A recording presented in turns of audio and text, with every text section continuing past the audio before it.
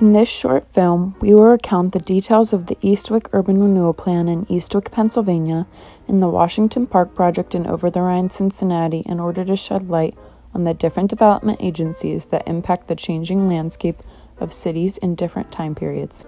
We will argue that even with different organizations running the redevelopment of these areas and their redevelopments occurring in different time periods, there are common themes that run through urban renewal projects of all types.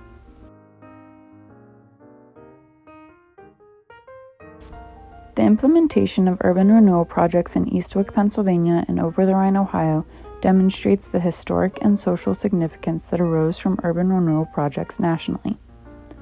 Each urban renewal project is unique from others in the organizations that pioneered them, as well as the social consequences that arose from them. This little known history of urban planning is relevant because urban redevelopment is still occurring today and is still greatly impacting lower income communities. Looking back to our past is a great way to learn from the mistakes of our predecessors and improve the way we redevelop communities moving forward. In the mid 1900s, reformers in the United States began to take over blighted areas through the use of eminent domain. These areas would then be used in urban renewal projects where the goal was to build back neighborhoods or regions that were more useful and fit the aesthetic of the developing city. Urban renewal has had a tumultuous history with both benefits and drawbacks. One large drawback that many individuals and families faced during the 1950s was displacement from their homes with little compensation. These are common themes that often run through urban redevelopment projects everywhere, and now we will take a dive into looking at our case studies to analyze how, even though different types of agencies may have run the redevelopment projects, we can still draw out these previously listed similarities. In the southwestern corner of Philadelphia, Pennsylvania, there's a set of neighborhoods known as Eastwick, Pennsylvania. This region is quite close to the present day Philadelphia airport and lies in close proximity to a river that passes through the area. Within the Eastwick region, there were 11 working class neighborhoods. These neighborhoods were quite diverse. They included people from different racial backgrounds and families from a variety of income levels. In the 1900s, the neighborhoods were viewed as very rundown areas. There were abandoned houses, many of which were well below the level of the river that passed through Eastwick. This made for many floods. Eastwick did not have an abundance of sewers, leading to problems with sanitation. When the redevelopment and urban renewal movement began in the 1950s, these shortcomings made Eastwick an easy target for redevelopment. The Eastwick area was determined to be predominantly open land that was not being used well, and the land that was used was not bringing in revenue or had unsafe conditions. The land that was in use was viewed as dilapidated, poorly taken care of, and in need of revitalization.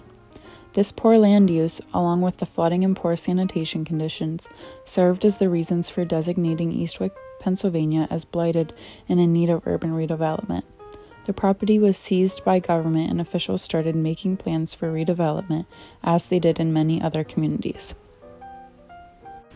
In the redevelopment of Eastwick, the main goals were to get rid of the substandard housing, redevelop that land into more useful infrastructure, and to increase connectivity in Eastwick through development of major secondary roads.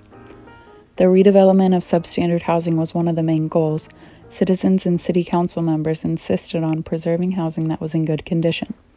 There were several other smaller goals for the project, including improving land use efficiency, adding industry to the area, improving housing quality, attracting 50,000 residents to the neighborhoods, incorporating recreational areas, and including integrated neighborhoods. Similar to many urban renewal projects in this time period, the Eastwick Urban Renewal Plan was implemented rather slowly because it was an open occupancy project and some of the blight that existed made parts of the project undevelopable. Eventually, the demolition of old housing and construction of new buildings sped up, and many new housing units were built and available to buyers. Industrial sites followed the same slow trajectory as housing units, but they were slowly built with the intent to bring jobs to the area and revitalize the neighborhood's economy. The neighborhoods in New Eastwick saw transformation in their sewage and drainage system because of the new sewer systems that were put in place. After the slow redevelopment of Eastwick, the final product of New Eastwick met some but not all of the expectations of the plan. There were 4,022 new housing units built in the redevelopment zone, but the number of residents the developers hoped to attract fell short of the 50,000 resident goal. The industrial regions of New Eastwick also fell a bit short of the goals outlined in the original plan. 40 firms were built by the middle of the 1980s and they employed about 2,000 individuals. Additionally, goals of connectivity through development of secondary roads were met. Now that we have discussed the scope of the Eastwick PA Renewal Project, we can move to talking about OTR and reflect on the commonalities and differences between these two redevelopment projects. Over the Rhine is an urban neighborhood located near the heart of downtown Cincinnati in southwestern Ohio, approximately nine hours away from Eastwick, PA. The neighborhood of Over the Rhine was established along the Ohio River by German immigrants in the early 1800s, several years later than the development of the Philadelphia region. After World War II, there were many anti German movements within Over the Rhine, and the original German population began moving out to other towns along the Ohio River and farther north. Residents of downtown Cincinnati were struggling to keep their jobs after the war, and many homeless people and families found shelter in OTR. As African American families were displaced from the West End and downtown Cincinnati, they began forming communities in OTR as well. Along the southern boundary of the neighborhood on Elm Street lies Washington Park, a shared community park and green space. The park was constructed in 1855 to provide a natural park area for residents to enjoy. There were paved sidewalks, benches, a fountain, a swimming pool, and lots of green space. This area drew in immigrants because the city had lots of job opportunities and housing options. As the demographic was shifting, wealthier white communities began moving out of downtown Cincinnati, which was harmful to the economy and left OTR vulnerable to becoming a slum. Similar to Eastwick, PA, and many other urban redevelopment projects, in the 1950s, the neighborhood of OTR was deemed blighted due to increased crime and rundown buildings. Also, Washington Park was no longer used like it had been previously by families of OTR. The original redevelopment plan for OTR was to destroy slums and rebuild more expensive housing developments and build a new highway system through the neighborhood, similar to the roadway goals of the Eastwick plan. This tactic was used in other parts of downtown Cincinnati, and instead of helping the crime and poverty issue, it only made them worse. In 2003, 3CDC, the Cincinnati Center City Development Corporation, was formed and began implementing urban renewal projects throughout the area. Their goal was to draw back people into the city from the suburbs by creating more housing options for families and younger individuals. 3CDC redeveloped many pre existing buildings in OTR before creating a plan for Washington Park. The redevelopment plan for Washington Park, quote, included a 450 space underground parking garage, a performance stage, civic lawn, event plaza, interactive water feature with lights and sound, children's playground, dog park, restored historic bandstand, seasonal planting beds, and a half acre of meandering pathways through beautiful, mature landscaping. Much like Eastwick's goal of attracting new residents, the purpose of these features was to draw visitors to the neighborhood and back into the city because so many had moved out during the mid 1900s. The park plan featured kid and family friendly amenities that were meant to make it accessible and usable by all age groups. The underground parking garage was a massive selling point for visitors coming from outside the city who no longer had to worry about finding decent parking in the city. The increase in foot traffic opened opportunities for new businesses in the area, which meant new retailers and customers brought old and abandoned buildings back to life.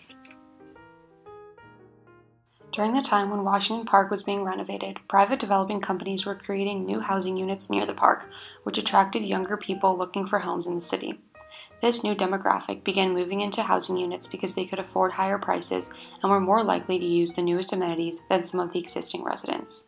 The new dog park and interactive water features of the park suggested the developers were more interested in bringing in a younger, wealthier demographic rather than families with children or people with lower incomes. Among existing residents and city developers, there was debate over the intended actions of the Washington Park urban renewal that ultimately changed the demographic of the community. This type of debate and unrest also existed in the Eastwick community.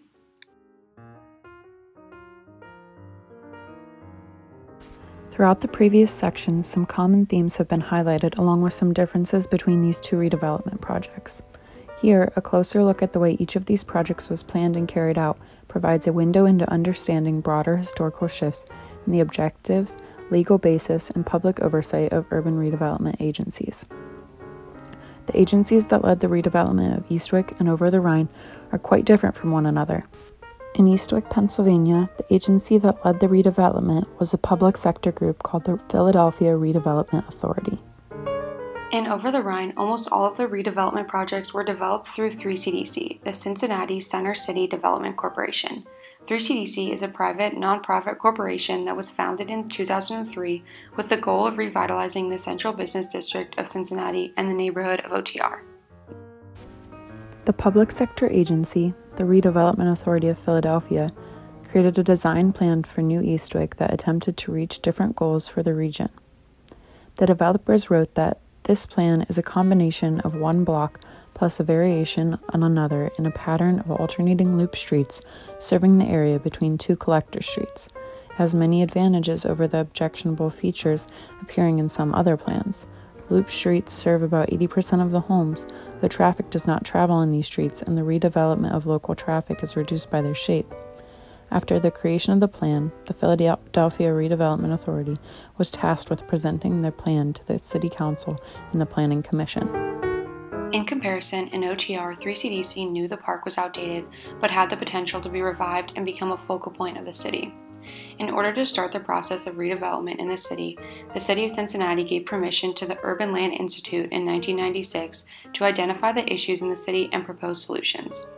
Their plans included ways to best suit the diverse population in the city by creating a comprehensive plan that allowed input from various groups of people that would be affected by the redevelopment. In 2002, the OTR Comprehensive Plan was created to guide the process of redevelopment for the Washington Park area.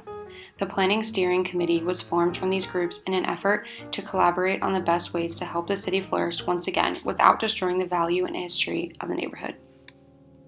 When the Eastwick plan was drawn up and it seemed certain that the area would face urban renewal, citizens of the neighborhood were not pleased. The disapproval of the Eastwick residents became visible in the protests that arose. The citizens were not happy with the goals of the plan because they believed it left out moderate priced housing, which would leave many individuals in the middle class without appropriate housing. These protests from citizens became so intense that it seemed that the citizens may get their way and stop the city council from approving the plan. In contrast, when the Washington Park redevelopment plan was proposed, many saw it as a great opportunity to bring life back to an area in OTR that had been forgotten. Others saw it as gentrification and believed the steps 3CDC was taking to revitalize OTR were harmful to the communities already living there. Some argued that the park's renovation ignored the needs of the present community. Instead, they believed it focused on drawing in new residents of a different demographic and class, for example, they built a dog park instead of a basketball court and a large fountain instead of a swimming pool. These changes did not reflect the needs of the present community and neighborhood. New residential developments in the area were much more expensive than existing housing, which forced some communities to relocate because they could not afford the redeveloped housing and they did not have a say in the building construction happening in OTR. 3CDC received some pushback from communities living near the park because they were directly affected by the redevelopment. Back in Pennsylvania, if the Eastwick City Council did not approve the plan made by the Redevelopment Authority of Philadelphia in response to the protest, Eastwick would have lost $54 million in grants that were meant to go towards urban renewal. Promises of urban renewal bringing industry to Eastwick tempted the Planning Commission and City Council. Despite the spirited protests that showed the residents' passion and commitment to their neighborhoods and homes, the City Council did not change their minds on the seizure and redevelopment of Eastwick, Pennsylvania. The revised plan for the redevelopment was approved and the developers moved forward with the project. 3CDC partnered with the City of Cincinnati, the Cincinnati Park Board, and the Cincinnati corporate and philanthropic community to complete the park redevelopment. After writing the comprehensive plan, they put together a consensus building model with the purpose of getting input from residents on the layout and design of the new park. The consensus building model was approved by the city, and 3CDC was granted permission to begin construction. The redevelopment of Washington Park had significant social and economic impacts on the surrounding communities and businesses. Renovating the park brought people back to the area both for residential reasons and for shopping or leisure. Private development companies also renovated apartment buildings in the area during this time, and the upcoming park was a huge factor that drew people back to this neighborhood.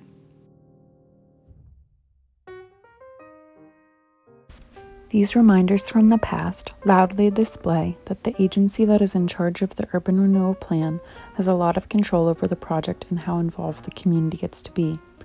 In the case of OTR, 3CDC has complete control over the redevelopment plan and consulted the community, but ultimately the organization had final say.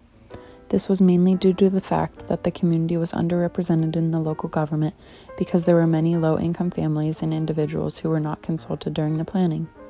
In contrast, the Redevelopment Authority of Pennsylvania got more pushback from the citizens of Eastwick because it was a public group that received feedback from the community and was represented through their local government. The urban renewal projects in both Over the Rhine and Eastwick are unique in the way that the local community reacted and engaged with the redevelopment agency and plans, but they have deep similarities that show the historic and social importance of urban planning and the consequences that can arise. It has been displayed throughout this film that urban redevelopment was a common theme in cities from the 1950s to present day. Reflecting on what drives these redevelopment projects and looking at their outcomes is essential to the future of urban planning.